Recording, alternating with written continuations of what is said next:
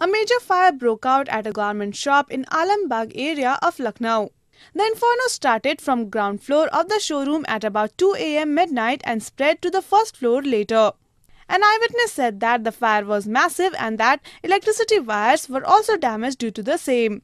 ये शोरूम है गीता वस्त्रालय का इसमें रात में दो बजे से आग लगी हुई है मैंने मेरे घर में रात में डेढ़ बजे से लाइट नहीं आ रही तो लाइट वाले मैंने लेसा को फ़ोन किया तो उन्होंने ये कहा कि गीता वस्त्रालय में आग लगी हुई है तो उन्होंने लाइट ये बंद कर रखी हुई है।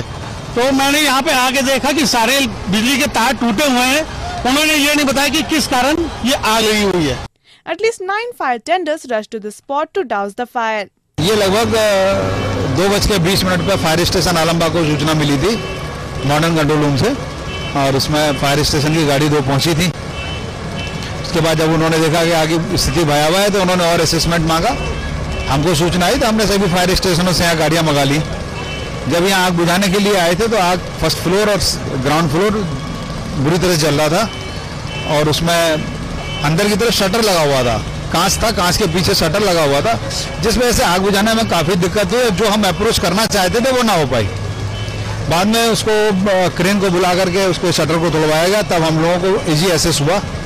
लगभग पाँच छह घंटे आग बुझाते हो गया, एक डेढ़ घंटा और लगेगा अभी आग पूर्ण रूप से बुझ जाएगी। No loss of life is reported the cause of the fire is get to be ascertained for the details are awaited correspondent Kamna Mathur from Lucknow for a